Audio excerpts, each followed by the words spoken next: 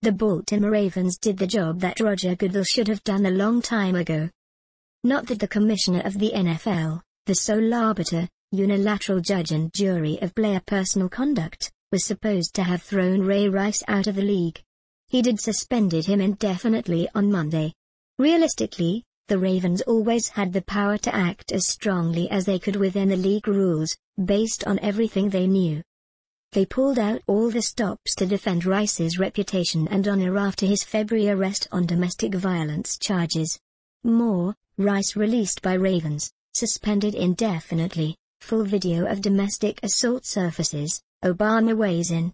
In doing so, they gave every indication that they knew everything, including what was revealed in the video leaked Monday morning.